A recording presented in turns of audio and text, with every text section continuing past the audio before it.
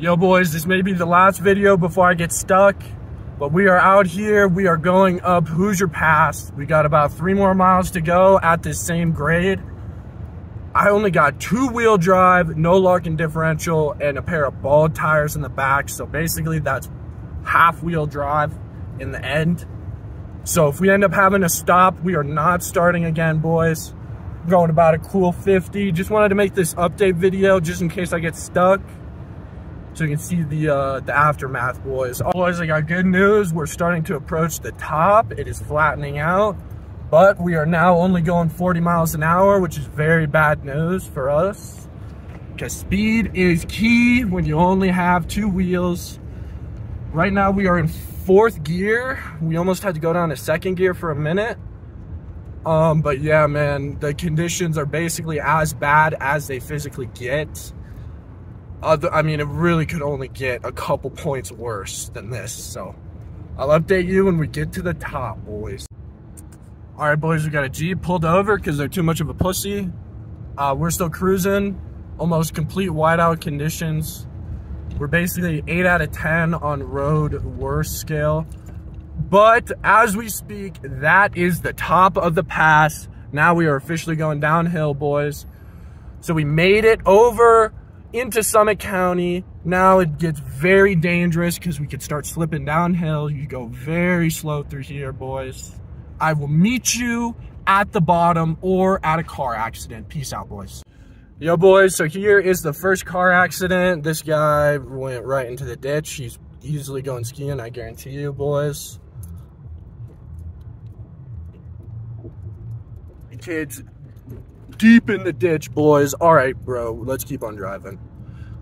What trifecta? All right, boys, I'm listening to Joe Rogan, but we got a ditch seeker right here. He loves the ditch. I guess he's moving, though.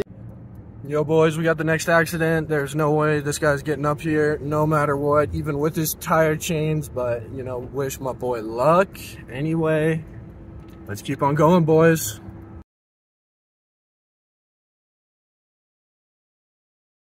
Boys, I literally see the ski slope. We just got this last pass to go halfway up, literally like two more miles and we're there. Boys, it would be devastating if I crash or get stuck right now. I'll be right back when we're there. You can see it if you know where to look, way at the tip. I guess the trees are in the way for you guys, but anyway, over there is the ski slope. I will be back when I am in that goddamn parking lot or I'm dead, I promise you. All right, boys, if you look at the top of that hill right there, you'll see some fences.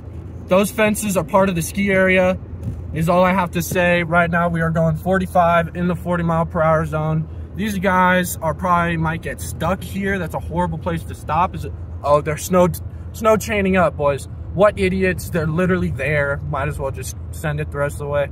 I only have one wheel drive, maybe a half a wheel, depending on how you count bald rear tires, but Anyway, boys, we're about to be there, okay? If I get stuck now, I'm fucking walking, boys. I don't even care, dude. I might as well just keep you with me. We're that close, buddy. We're that fucking close, buddy. All right, boys, we are here. It was about 30 seconds after I turned the video off.